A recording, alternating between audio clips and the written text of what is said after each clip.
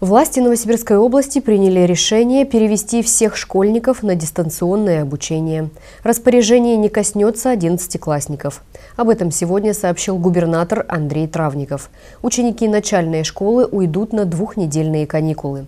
Одиннадцатиклассники продолжат учиться очно, но для них будет тестирование. По словам Травникова, в регионе выявили штамм коронавируса омикрон, который наиболее активно распространяется среди детей. Всеобщий карантин планируется ввести с 31 января. Травников уточнил, что малокомплектные школы будут переходить на дистанционку, если в них появится очаг заболевания.